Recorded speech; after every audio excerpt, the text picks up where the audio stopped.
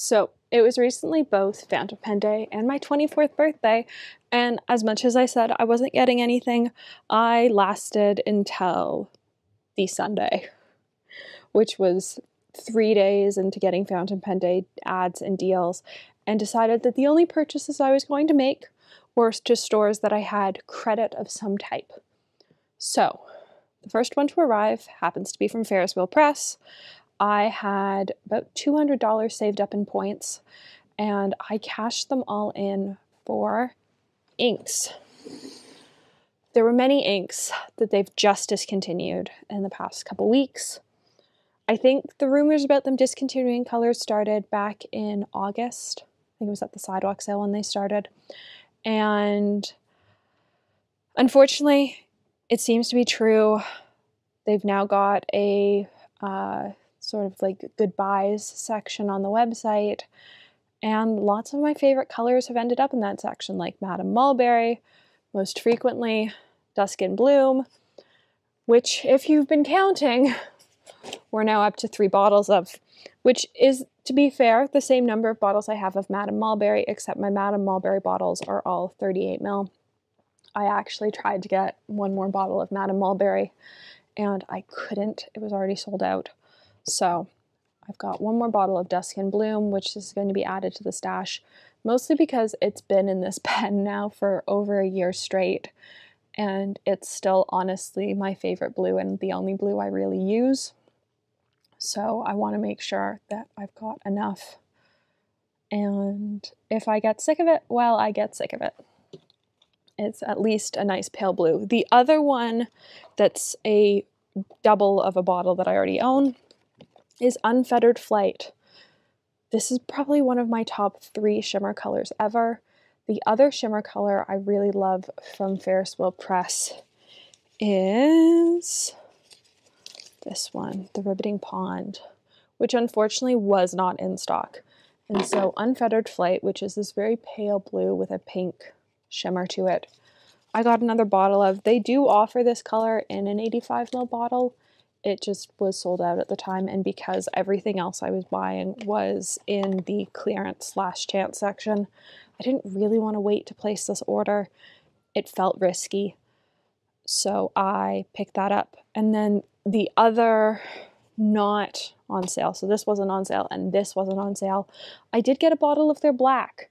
If you've been following 20 questions, you'll know I think black ink that isn't waterproof is worthless. Uh, I stand by that opinion. I just don't see the point. But a lot of people have been asking me if it's a true black or if it's a gray. And I haven't had it in person to be able to tell anyone. So I did pick up a bottle. I did consider getting one of their new 10 ml bottles, which this is offered in, but I have a hard enough time getting the lids off the old sample vials that they did as cute as they were, I really struggled to get the lids off them. And I was looking at the lids on their new sample vials and just wasn't sure that I could get the lid off by myself. So I decided to stick with a bottle that I knew I could get the lid off by myself. So we're not going to swatch Dusk and Bloom or Unfettered Flight. You've seen them a billion times on this page. This is the big surprise. I had done a couple passes of the clearance section. I had sort of built my cart, was trying to get as close as I could to $200. Um, and I was going through one last time to make sure I didn't miss anything. And all of a sudden, two bottles of buttered popcorn popped up in the clearance section at like 10 p.m. on a Sunday night. And you better believe I put that in my cart and I pressed checkout so fast. Uh, I missed buttered popcorn when it was around the first time. I've heard all the hype about it. I have seen swatches. I have tried it in other people's pens. I've never owned my own bottle, and I am so excited to get to try this ink. Like, honestly, I am so excited to get to try this ink. And, like, the box design with the little popcorn kernels is so cute. The other colors are Grape Ice Pop, Beaver Dam Brown, Spadina Rose, mostly because Gwartzman's is on Spadina, and I have a soft spot for Gwartzman's, and I love Dusty Pinks. Uh, Autumn in Auburn, which I've had a sample of. I liked my sample of it. It's very similar to Monteverde Lion, and I think I really like Monteverde Lion. My issue with Monteverde Lion is that it doesn't always play super nice on my preferred paper because I'm not always using really nice paper. I find Ferris wheel press inks play really nicely on really bad paper. Like if I'm writing on copy paper, Ferris wheel press inks work. So, because I don't always use nice paper, I got a bottle of Autumn in Auburn because as much as I love Monteverde Lion, it does need quite nice paper. It likes Tomoe River, it likes stuff like that, and it feathers really badly on cheap paper. So I got a bottle because I like the color, but the bottle that I have that's a similar color currently doesn't play super nice on the paper that I frequently use. And then finally, we have an 85 of double raspberry, which is also in my favorite 85 ml bottle container. I love the old packaging. There's just something so nice about it. And I've tried double raspberry in other people's pens. I've never had a bottle of it, I've never had a sample of it, but for the price and after looking at swatches, I felt like I couldn't pass it up. So we are going to do the Rolodex swatch cards because they seem like more fun and it's too hard to edit coloring dipper videos from something like this. So let's get into it. All right, first up the two that I'm not reswatching. Unfettered Flight is just such a pretty pale blue and also quite legible. Uh, this was just with a dip pen, but I've also had it in mediums. It works better in a broad just because of the glitter in it, but it's super legible as a color, especially as a light blue. It sort of reminds me of Wearingeul Wendy Darling, except more legible. And then Dusk and Bloom. This is honestly one of the first colors I fell in love with. This and Madame Mulberry have both been permanently inked in pens for months. Madame Mulberry has now been inked in a pen for over 18 months for me in various pens. Dusk and Bloom has now hit its one year mark. I love this color, which is why I bought another bottle of it. And it's just a very pretty, moody blue. So let's get into the new colors. We are going to start with buttered popcorn. I've sort of arranged them by color so that there's no or less of a risk of transfer. Can I get into this box? I can. Excellent. Oh. Is that a different piece of art? Or have I never actually looked at the piece of art? No, it's a different piece of art. That's sort of fun. I like the ink bottle and the fountain pens and the paintbrushes. Buttered popcorn. I was going, I don't think I've ever seen that piece of art. So I wonder if that's buttered popcorn's old. Buttered popcorn's from like one of the original collections. I think this ink has been discontinued for like over two years, I want to say at this point, or over a year. Um, so.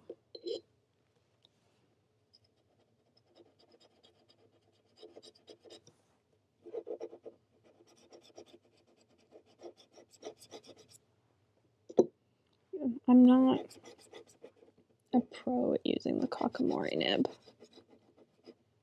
I have friends that are excellent at it. I would say I am mediocre at best. Using the Kakimori nib.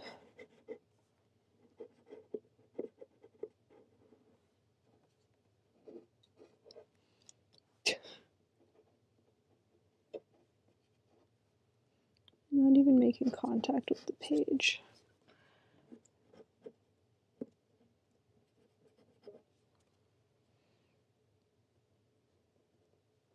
All right. And for the Q-tip.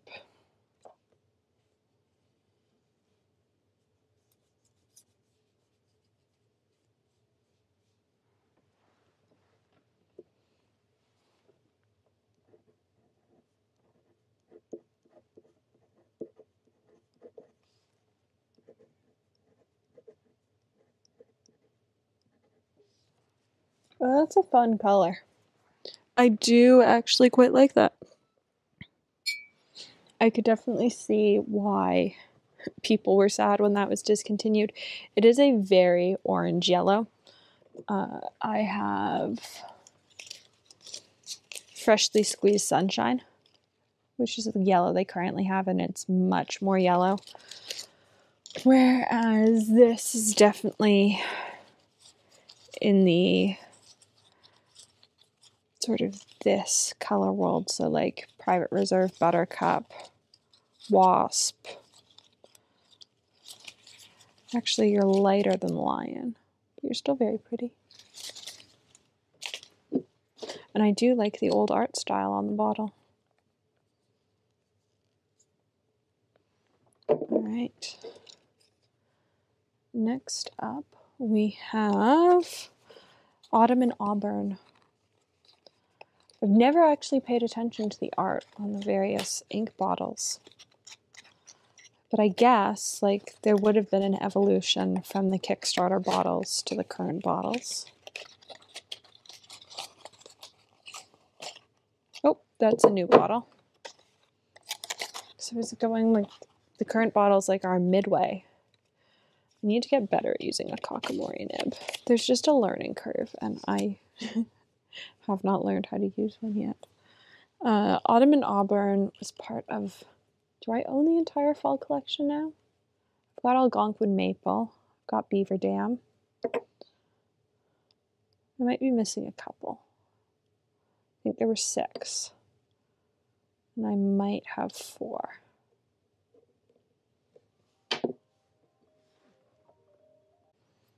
After that brief intermission, let's get back to swatching. Uh, maybe this is the one that's Monteverde Lion-ish.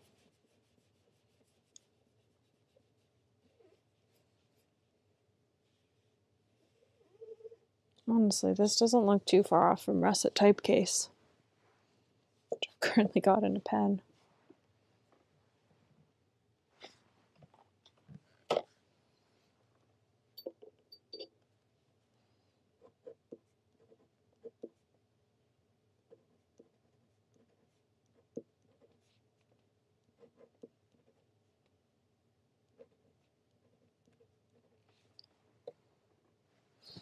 Where's Russet Typecase?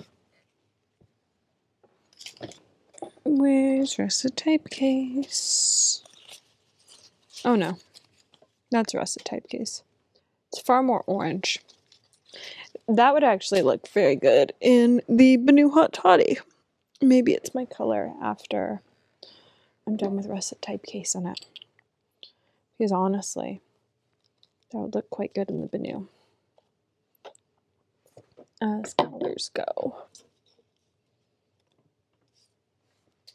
Then we have Spadina Rose. I have a soft spot for Spadina. Smudge on the inside of the box. And a very dusty cap. This has been on the shelf for a while. Alright, I sort of get why they discontinued this color. Uh, this is a new style bottle.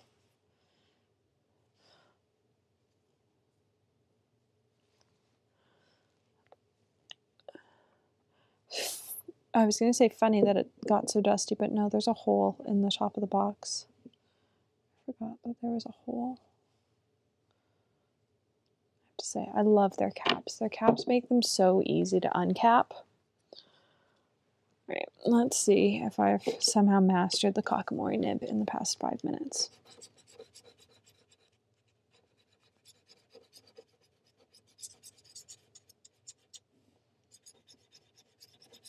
That's like slightly better. So I think the trick is a lot of ink.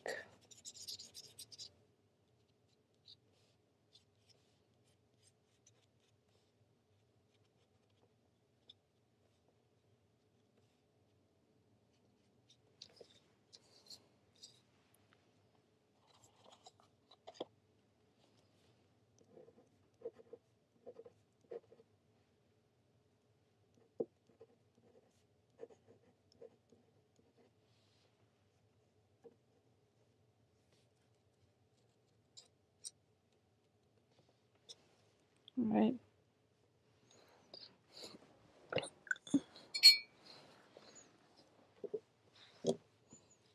Let's recap this bottle. Say that's always what I'm most worried about is knocking it over before I recap it. All right, double raspberry. I adore the packaging for this. There's canned goose, all the raspberry canes. Like it's just, oh, the little bee. So stunning. And I love, I love the old 85 mil packaging. Uh, I get, get why the upgrade was made. I assume the new packaging is significantly cheaper. It's just so much easier to open the old packaging. So, I do wish, and they still don't do it on the new bottles, that they had the label stickers. Uh, the fairy tales come with labeled stickers on the bottom so you know what color it is. Um, there's a reason my 85s all stay in their boxes, and it's so that I know what color is which. Oh, I might actually need mom to open this. I'll be back. All right, we're back. Mom almost couldn't get the lid off either, uh, which tells you just how hard that lid was. I find that the 85s tend to have tougher lids at first. Um, oh, that's pretty. How is it taking me this long to get a bottle of it? Oh, I'm so happy that I got an 85 ml bottle of it. I'm so sad that it's been discontinued, but I'm so happy I have 85 mils of this ink. Oh, it's so pretty. It's so pretty.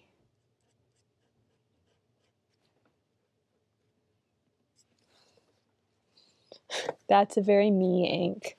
Uh, double raspberry, I believe this is called. It is.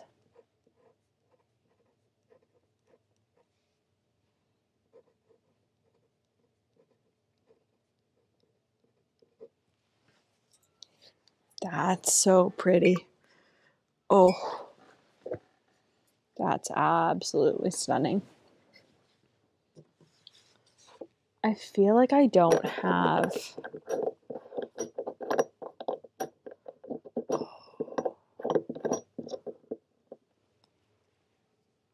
I feel like I don't have a pink like that.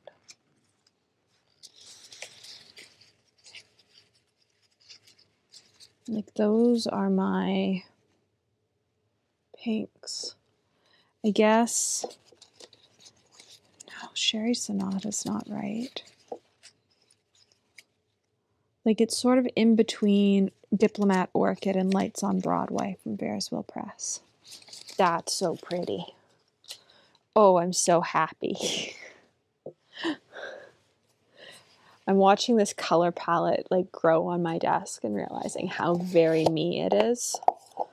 Like it's such a me color palette. Let me get this back in this little bag. Also love that they did matching bags. I don't know that they still do matching bags for the 85 mil inks, and I don't know that they do them for the fairy tales inks, but it's fantastic, and I adore it. So let's tuck that to the side. Grape Ice Pop is next. I know I love this color. I've got a sample of this color. Uh, actually, I think I've had two samples of this color. I like it so much. I just have never been able to find a bottle of it. It's one of those hard to find bottles. It's also a very old box design. You can definitely see the evolution of the complexity of their box art. But I, there's something about like the simpler box art from the old stuff everything you can imagine is real. Like there's just something about the simpler box art that I really like. I wonder if this is going to be an old style bottle. I think it should be. Nope, it's a new style bottle. It's very pretty. It's also a very purple ink, but it is my favorite purple ink.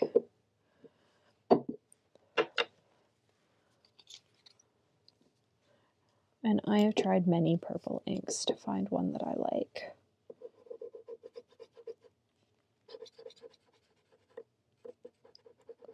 There's just something about this one.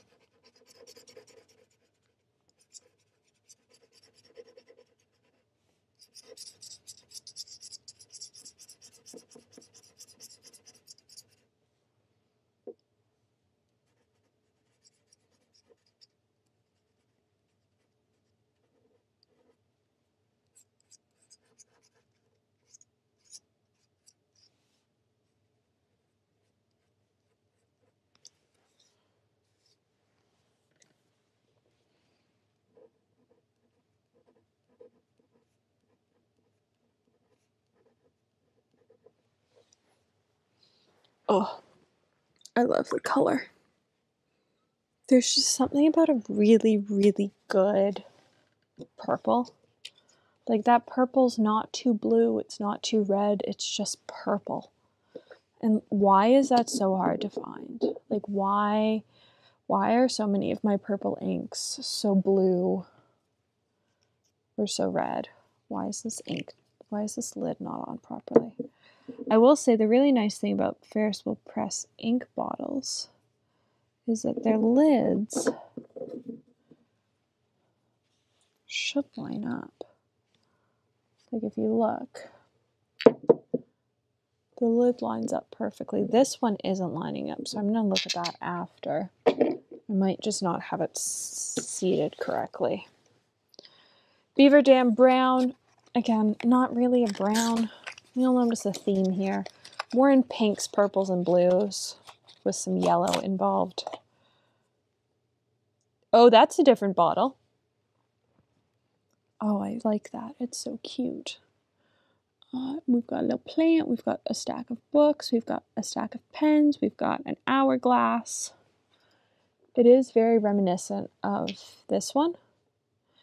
I believe both of these are part of the same collection. Or like from the same year. They're both part of that fall collection. I think it was fall, I want to say fall 2021. But I might be totally off there. It might be fall 2022. Uh, but they came out with Algonquin Maple, which is my favorite red, which has also been discontinued. Um, they discontinued like 20 something colors or 30 something. I think it was actually closer to 30 something colors. I think the total list, including fairy tales, I think Van Ness has it, and it's like I want to say it's 35 colors. So it's quite the impressive list. Colors that are disappearing.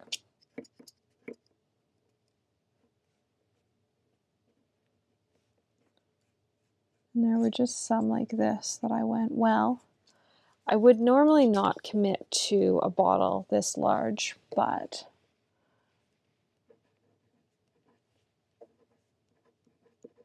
we disappear fly.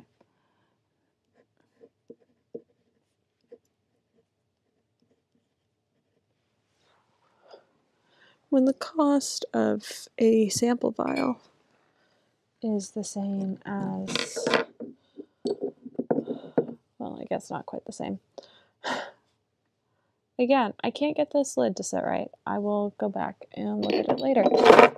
Let's not do that.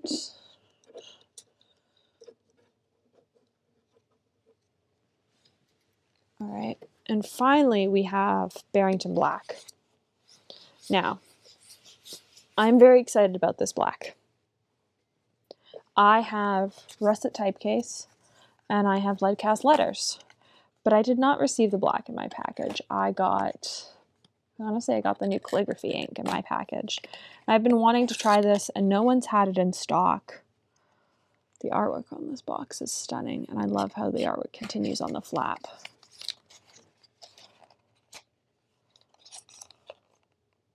Oh, interesting.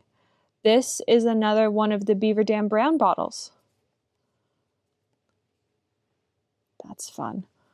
Uh, so let's open this up. Just looking at the lid, it looks very green undertoned.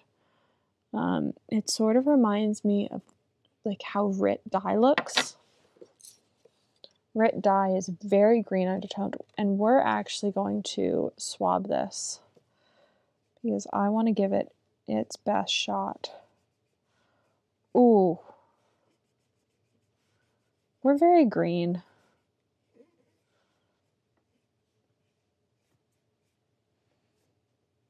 Hmm, hmm, hmm, hmm.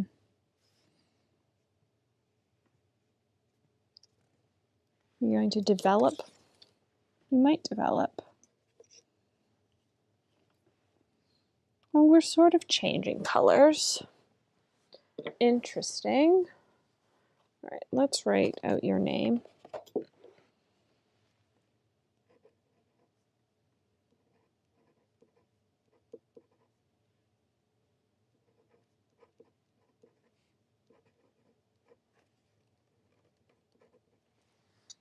Interesting. All right. It's doing what I expect a granulating watercolor to do, where it sort of blooms over time. So what we're actually going to do is we're going to shake this up really well because I'm realizing I didn't shake it very well. I didn't actually shake it at all. We're going to shake this really, really well. And then we're going to grab Muji paper, which is not my favorite paper, but it is going to serve its purpose in this because what we're going to do is a massive swab of this and just sort of see how it develops because I have a feeling that either this is going to be, ooh, do I have my normal black? Can I track down my normal black? I'm going to grab my normal black. All right, I have my normal black.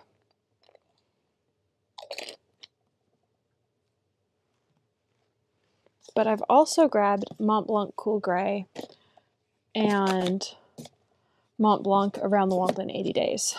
And that is because Mont Blanc Around the World in 80 Days does the same like blooming color thing where it goes down a different color and then sort of evolves. And I grabbed Cool Gray just to be like sort of a baseline color, honestly. Um, so we're going to start with Sailor Kiwaguro. We're going to swab all these, mostly because the Sailor ink is a pain to get out of a Kakimori nib. Um, it's also a pain to use. I've used so much of this bottle that it's just like... All right. True Black.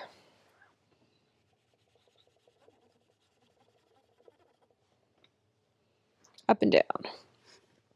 And if you, oh, I was going to reference it. I guess it'll be out by now.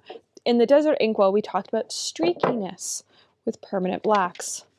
This is what we were talking about. But you almost never swab a permanent black, so it really doesn't matter. Right, Barrington Black, which I think is going to actually go down very, very green, but is probably going to bloom pretty black. I think it's pretty deceiving. I think it goes down like this pine green. I don't think it'll stay that way. It's already it's already going pretty black. And then so this is Sailor.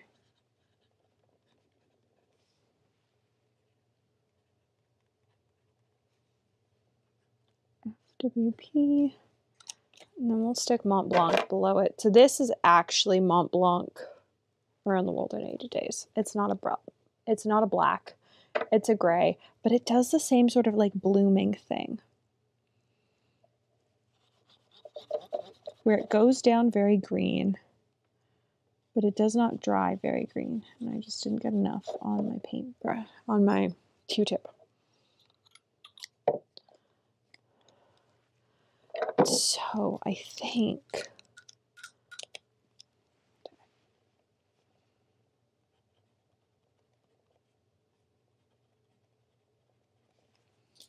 And then at the very bottom, we will put Mont Blanc Cool Gray as our last control. This is a very pale gray. Yeah. yeah. That's actually a gray. All right.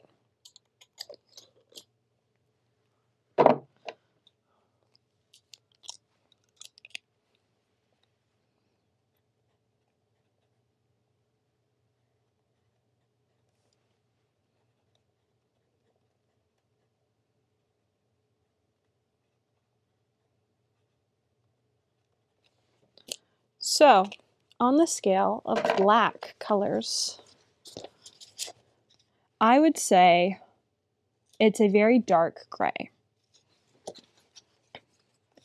It's not it's not a true black like Sailor's is. but it is definitely in like this dark gray world. There, because there's Pearl Noir and Noir Bizarre. And those are both true blacks. That is not that. It is definitely in this like around the world in 80 days world of being a dark gray. Am I upset about it? No. I am personally a fan of those sort of like blacks that go down grays or those those grays that go down green and turn into blacks. I think they're super cool. I think the science behind them is super cool. But if you think you're getting a true black like Sailor, you might be disappointed. Personally, I think it's a lot more fun. There's like a lot more tonal share tonal variation than you get in a true black. But I can definitely see how somebody would be disappointed if they wanted just a true black. So let's quickly go over all these colors. So there we go. We have Unfettered Flight, Dusk and Bloom, Buttered Popcorn, Autumn in Auburn, Spadina Rose, Double Raspberry, Grape Ice Pop, Beaver Dam Brown, and Barrington Black. Honestly, it's a very me color palette. I'm looking at it and going, none of these colors surprise me. Um, I do really like them all though. And I am actually really happy about Spadina Rose. I've been sort of on the fence about it, but I'm actually quite looking forward to putting in a pen. Same with Double Raspberry and Barrington Black. I am a fan of grays, so now that I know that it's much more of a gray than a black, I'm really looking forward to putting it in a pen. So, I'm quite excited for the next inks video. I hope you enjoyed watching. Uh, this was quite the ink haul. I've been saving up my points for quite a long time, and so it was nice to sort of finally have a way to use them in a way that seemed like a good way to get rid of them. And so picking up some inks that I knew I wanted to have in my collection seemed like a good way to use up 200 point $200 in points. Let me know how you would have used up $200 in points. I did briefly consider another pen, but there are some fun pens coming up on the channel, so I figured some more fun colors of ink for the collection can never be amiss. So thanks for watching and I hope you enjoyed.